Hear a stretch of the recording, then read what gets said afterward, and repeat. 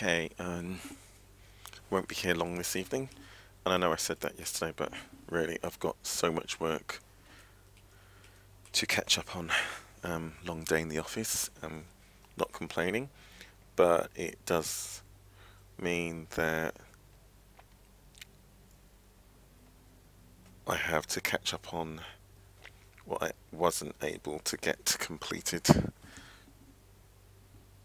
So although yesterday I said the same thing, well more so about the whole um, won't be on long, but tonight literally I'm just going to run this.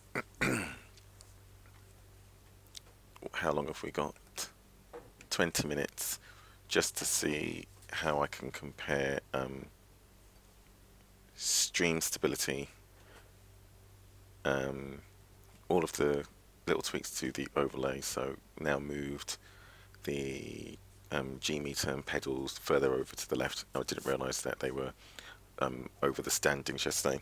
So also just increased slightly the size of the computer processor usage graph at the bottom. Um, moved also the fuel remaining water temps, oil temps into the space vacated by um, me truncating the iSpeed display so that what you get now is just the splits and the delta both time and speed um, moved the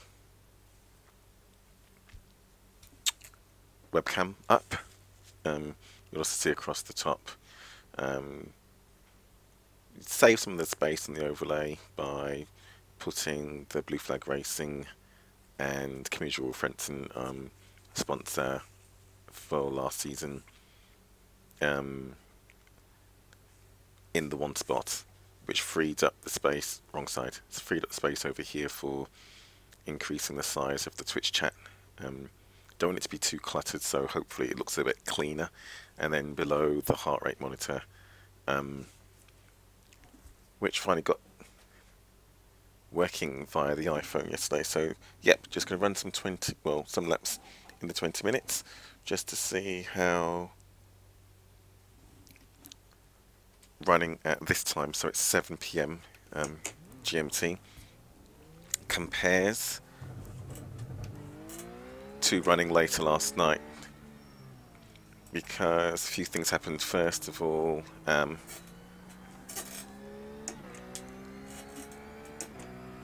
the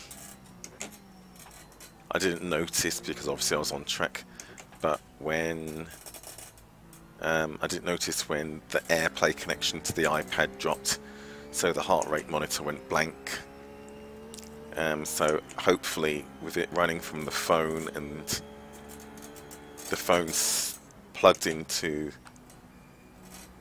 the power and the auto lock feature turned off, it won't do that. Excuse me, sorry.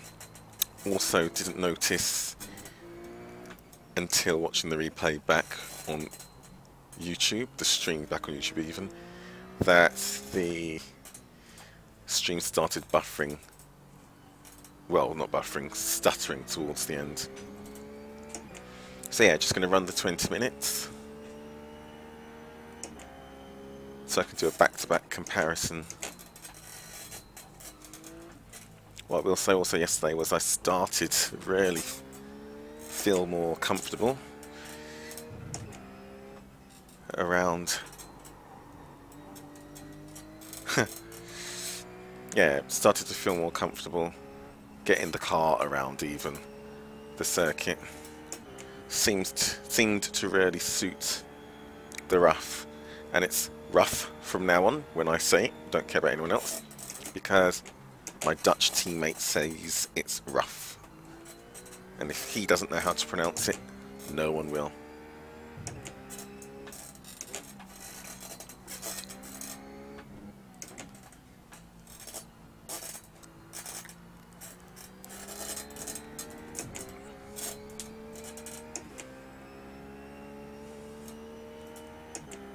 Still don't know what I think about racing here this week. Can I catch this? No. Um, it's one of those tracks that I think it's brilliant to run laps by yourself. Once you're comfortable and hooked up, it's just torturous to race. But considering I'm a V8 driver normally, and we run some seriously skinny tracks, should be used to it. So I think the secret here for me is going to be just finding a nice rhythm, getting comfortable, and finding a, a, a space on on the track with regard to track position. That means I'm not ahead of somebody who's monumentally more confident and faster in race conditions, who gets frustrated that they can't get past.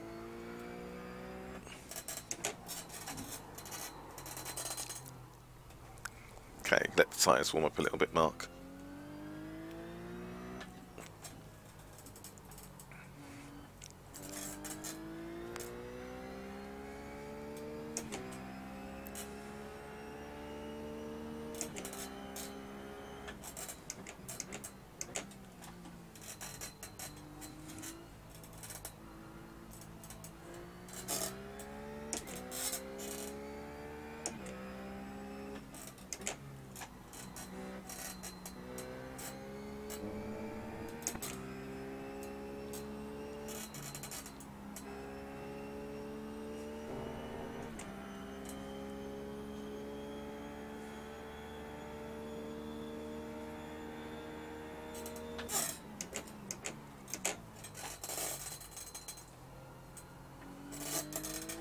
Still have those moments where the gear shift doesn't quite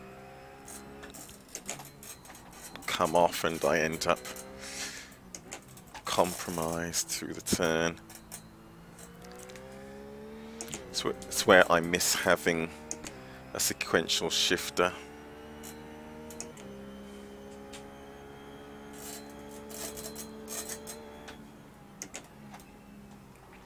And just haven't got around to incorporating one into my setup.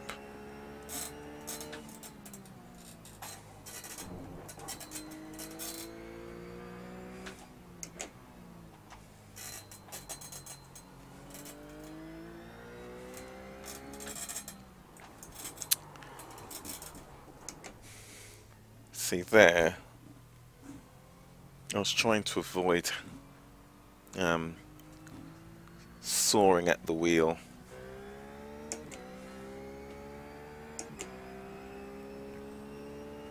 but it meant I didn't make the micro connection micro connection you know what I mean?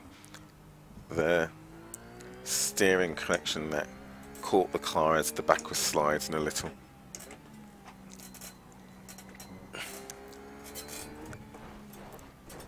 Okay so this lap and start again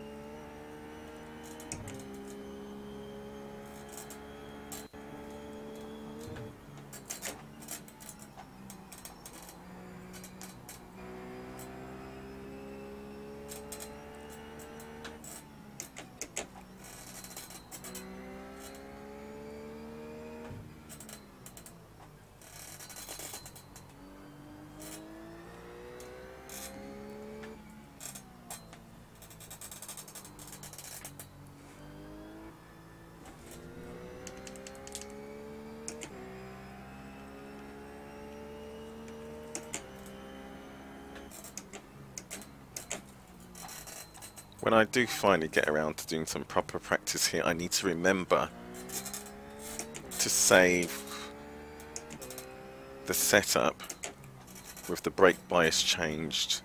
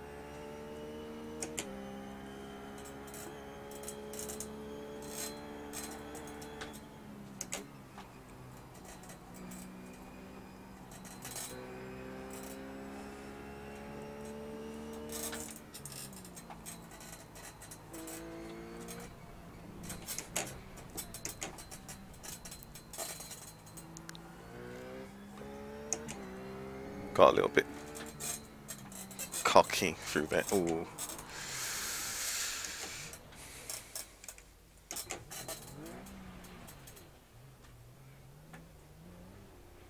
Oh, Juan followed me off.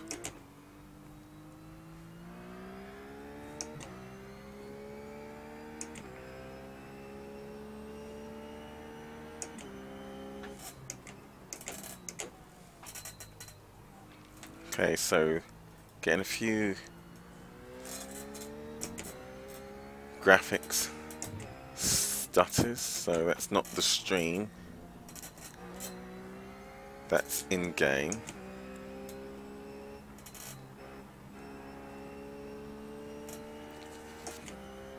So, nothing torturous.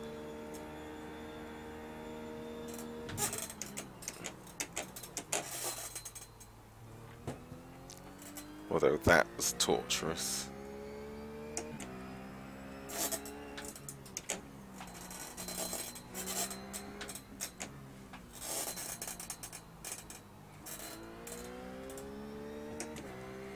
As we're starting to get closer to our pit stop, start thinking about your entry to pit road. We think we might be losing a little bit there.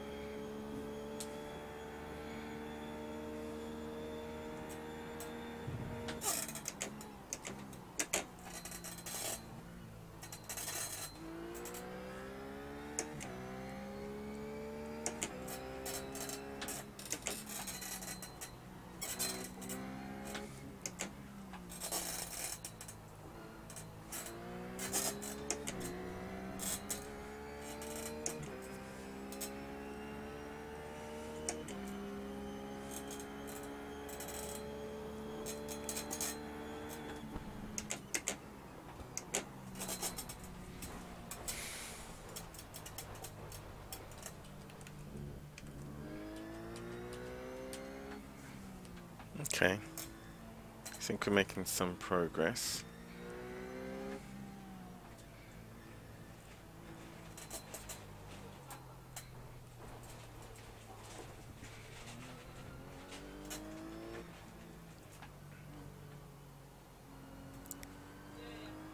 I'll be able to watch the stream once it finishes and take a look at the CPU usage histogram and figure out whether or not something needs to be off to give it some breathing space.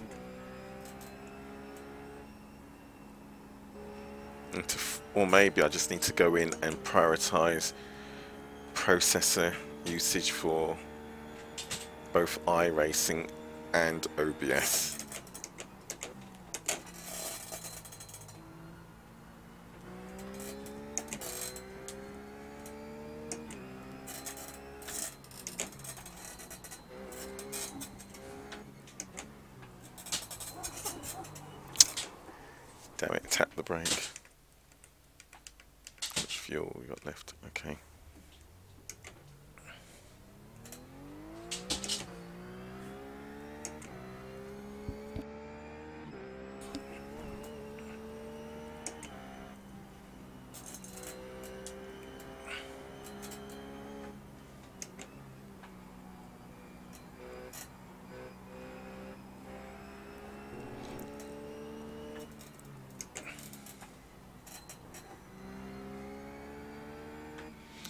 Because it might be something in the overlay has to be sacrificed, simplify it a little bit.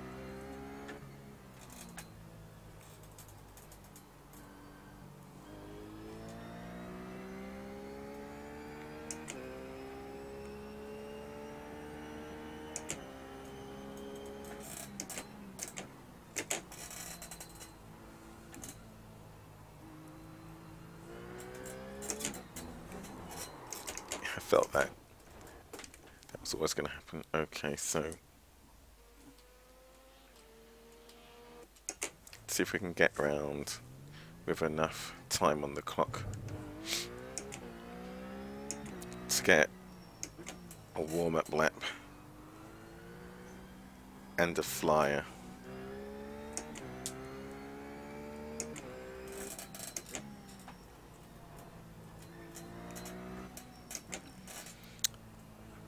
I'm wondering also whether it's anything to do with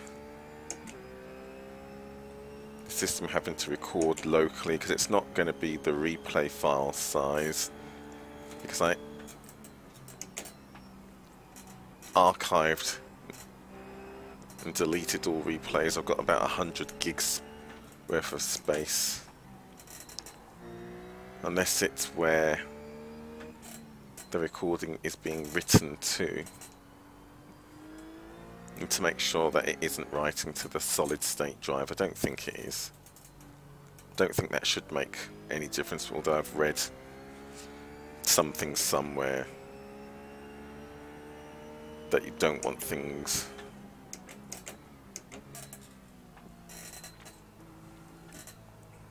writing to it. Well, at least not whilst gaming, but something random I read somewhere and I don't I have no idea if I even grasped the full concept of what was being discussed, so I could completely have taken the wrong end of the stick and run with it.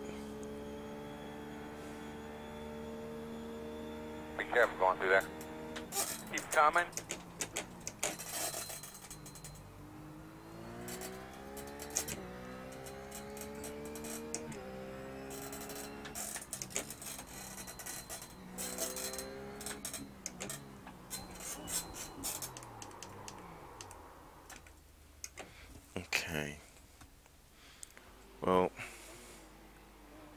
Take a look.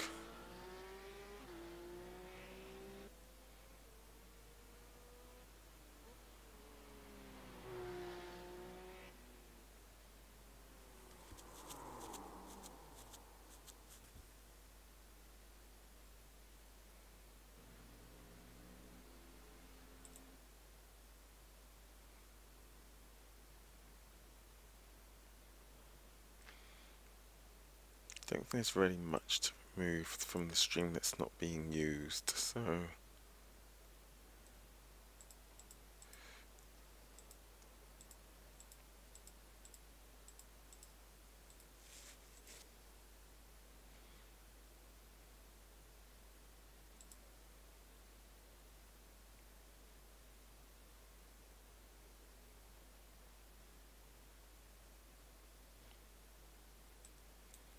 jump into another session, see where the local file is being written to and see if that makes any difference.